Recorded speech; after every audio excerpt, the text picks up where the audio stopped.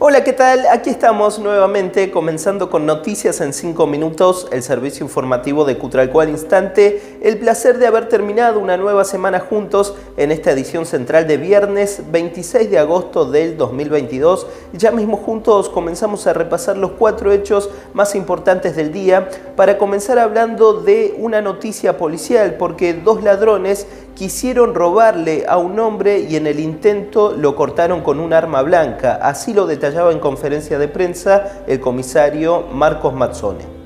En horas de la madrugada, una persona masculina de, de 41 años venía caminando por la vía pública, en este caso en la calle San Juan Bosco y 25 de Mayo, donde es abordado por dos sujetos quienes eh, verbalmente eh, lo amenazan, refiriéndole a que le dé todo cuando esta persona intenta darse vuelta para ver qué era lo que pasaba, porque lo habían sorprendido por la espalda, eh, uno de los delincuentes eh, procede a lastimarlo en la zona del muslo, lo que puede ser de un arma blanca.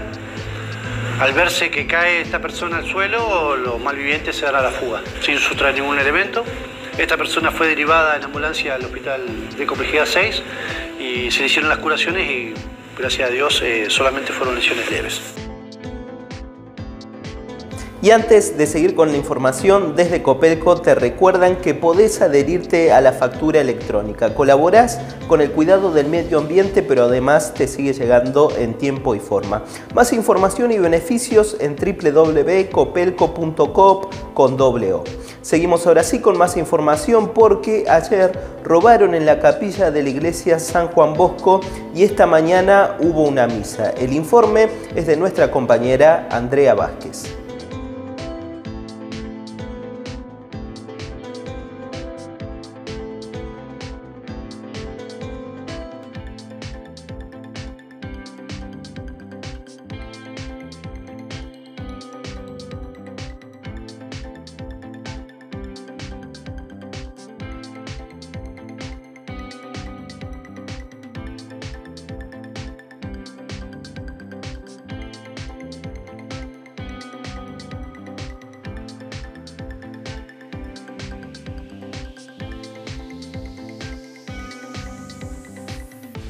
Y el consejito sigue siendo que cuides tu corazón, por eso el doctor Nicolás Gambazza es un médico cardiólogo que cuenta con lo último en tecnología para que te realices tus estudios. Seriedad y confianza, saca tu turno telefónicamente llamando al 2942 660 449 y por WhatsApp al 2942 369 226. Seguimos con más noticias porque el Consejo Deliberante de Cutralcó aprobó el destino de más de 9 millones de pesos que serán para hacer un reservorio y distintas obras de agua. El testimonio es del presidente del cuerpo, Jesús San Martín. Sí, ayer aprobamos en la sesión este proyecto de ordenanza que vino por parte del Ejecutivo en el marco de un convenio con provincia también, que responde a fondos fiduciarios destinados a lo que son obras de infraestructura para nuestra comunidad. Eh, son fondos de más de 9 millones de pesos que vienen también a también del Fondo Sojero de Nación y están destinados a obras como reservorios de agua, también pozos de bombeo que van a ser eh, realizados aquí en zonas aledañas de nuestra comunidad.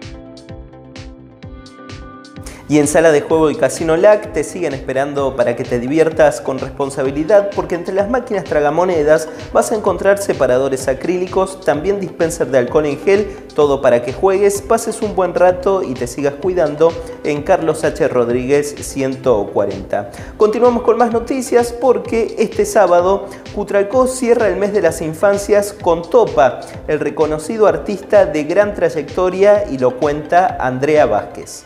Muchísimas gracias. Ya llega el día en que se presentará Topa en la ciudad de Cutralco. El artista por primera vez pisará el suelo cutralquense y se presentará alrededor de las 16 en el escenario del Parque de la ciudad de Cutralco. La entrada es libre y gratuita. Esta propuesta está organizada por la Subsecretaría de Cultura y otras direcciones de la comuna cutralquense para cerrar así el mes de las infancias. Y antes del pronóstico, no te olvides de pasar por la tienda virtual de Anadel Calzados, Anadel Deportes. Allí vas a encontrar lo último en calzado e indumentaria, todos los talles y modelos y además compras desde cualquier lugar. La web www.calzadosanadel.com.ar.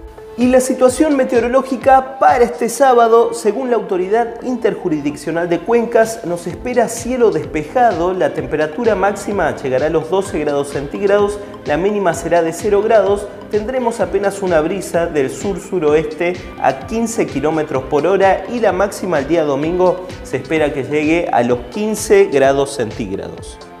Hasta aquí llegamos con esta edición central de noticias en 5 minutos, el resumen informativo de Cutralco al instante. Gracias como siempre por seguir eligiéndonos.